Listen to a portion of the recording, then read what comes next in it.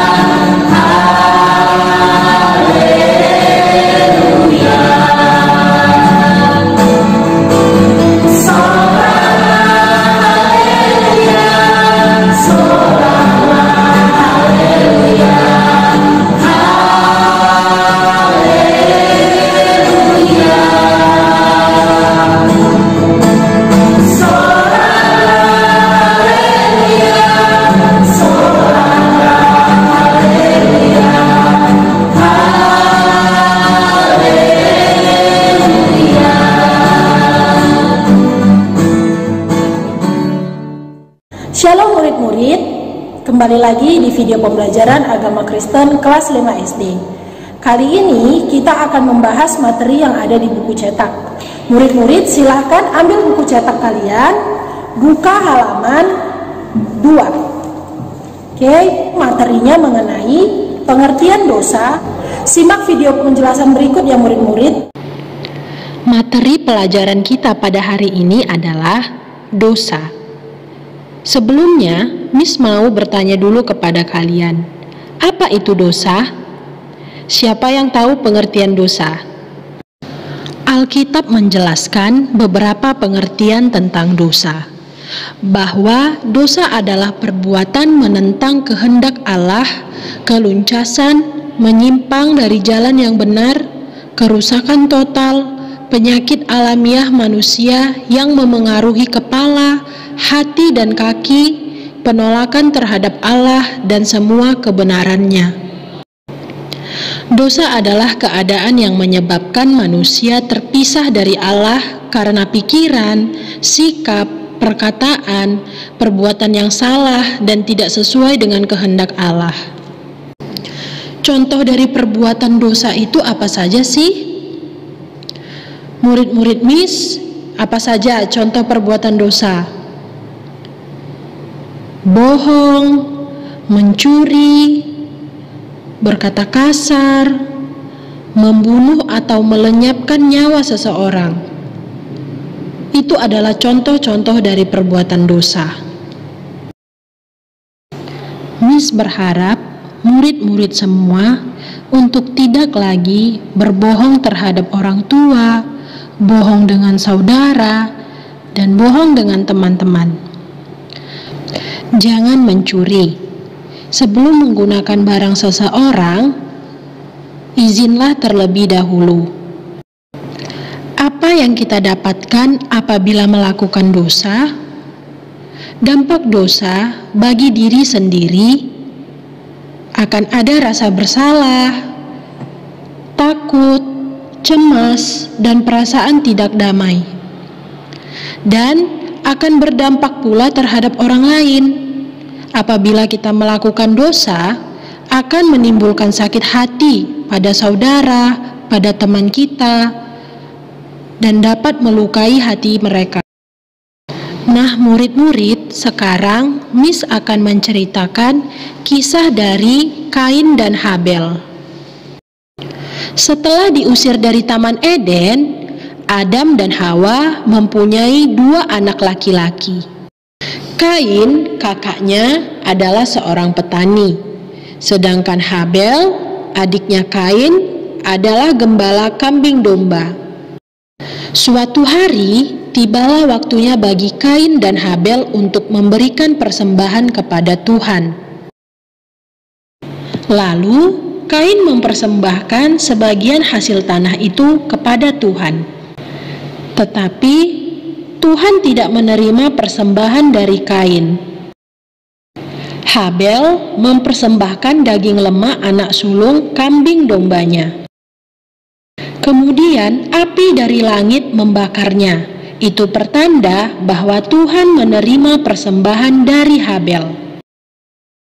Hati Kain menjadi sangat marah dan wajahnya menjadi muram. Tuhan mengingatkan agar Kain harus selalu berbuat baik agar tidak berdosa. Tapi Kain mempunyai rencana yang jahat. Lalu Kain mengajak Habel pergi ke padang. Tiba-tiba Kain memukul Habel adiknya sampai terluka parah. Tuhan mengetahui perbuatan jahat Kain, tetapi Kain tidak mau mengakuinya. Tuhan menghukum Kain. Tuhan tidak memberkati Kain dan Kain menjadi seorang penggembara. Walaupun Tuhan menghukum Kain, tetapi di mana pun Kain berada, Tuhan melindunginya.